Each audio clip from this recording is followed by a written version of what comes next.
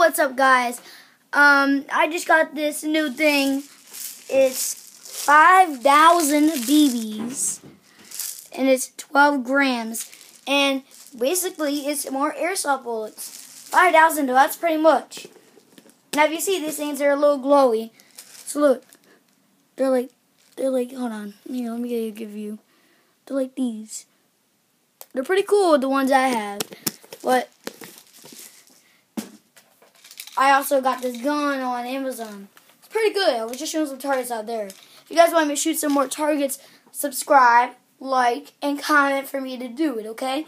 And to get um, these BBs, they're at your local stores, Walmart, Target, Dick's Sporting Goods. There you can find them on Amazon, eBay. And in this gun, you can find them at the, um, also the grid code.